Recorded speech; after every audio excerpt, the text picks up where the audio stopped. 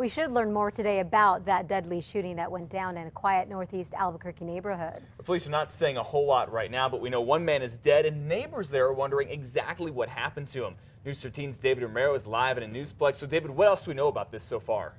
Well, Matt, there's not a whole lot that we know right now other than police are still trying to figure out what happened out there. Now, here's what we do know. The quiet neighborhood near Eubank and Constitution was shaken up after gunshots rang out. Albuquerque police spent much of the afternoon canvassing the neighborhood, talking to neighbors and potential witnesses. Little information has been released, but police say, or rather, we have learned from police that the victim was shot multiple times. Neighbors we spoke with told us they heard as many as five gunshots. While at the scene, neighbors told our crew they didn't recognize a green Chevy pickup parked in the front of the home where the shooting happened. Investigators took pictures of the truck for evidence. One man told us he learned from police this could be linked to some sort of domestic dispute. The ex boyfriend or husband or whatever was missing in the backyard and she went out and shot him. That's, that's the story that I got earlier this afternoon and what the lady told me. As of last night, one person had been detained, but no arrest had been made. Matt, back to you. All right, thank you for the details, David. We're set to learn more from police about the shooting later today, and once we get that, we'll pass it on to you both on air and online. Well, we have new information now in the case of a one-year-old girl killed in a hit-and-run crash three nights ago. Police say the man who did it told them he thought he hit a dog. Mylan Dar was in court yesterday. Investigators say he killed Ivana Valenciano Friday night in the street outside of her home after she wandered away from her family. A neighbor who saw that crash says after it happened, Dar stopped his truck. He looked back, then drove off, but not before leaving behind something very important.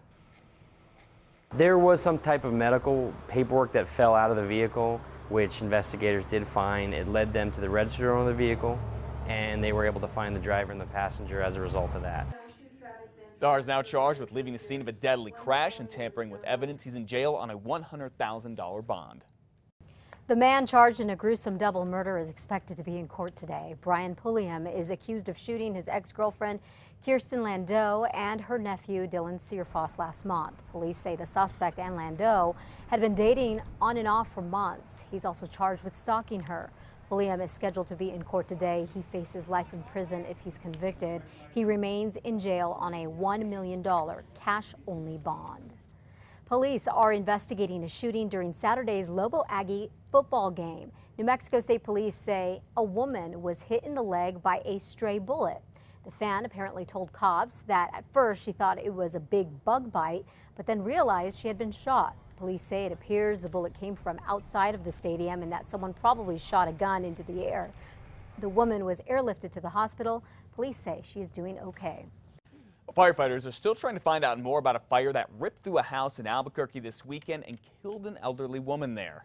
A neighbor called 911 just before 8 Saturday morning saying this house near Academy Eubank was full of flames. When firefighters got there, they found the woman in a bedroom in the back. She was in her mid to late 80s. They say she was a smoker and may have been using oxygen. And across town, firefighters want to know why two fires have hit this same home in just less than a week. Now, this is what's left of the home on Pinot Noir at uh, near 98th Street Southwest after it caught fire on Saturday night. Now, if you remember, last week we were first on the scene as firefighters worked to get the flames out the first time the house caught fire. They have not said if the fires are connected or how they started. A jail guard is fired and now faces criminal charges after investigators say he tried smuggling drugs into the Metro Detention Center. 23-year-old Rob Padilla appeared in court this weekend alongside his attorney. He was arrested Thursday. Cops say he tried to bring in drugs into the detention center where he worked by hiding them inside his boxers. Now, county officials say Padilla's arrest is a result of MDC and the Bernalillo County Sheriff's Department working together to get rid of all bad jail employees when we receive intel, whether it's us or the Sheriff's Department, what we're doing with each other now is we're bringing us both into the picture simultaneously. We're not coming in at the back end or the middle end. The Sheriff's Department's not coming in at the back end. We're starting out together. That's a big change. Padilla is already out of jail on bond.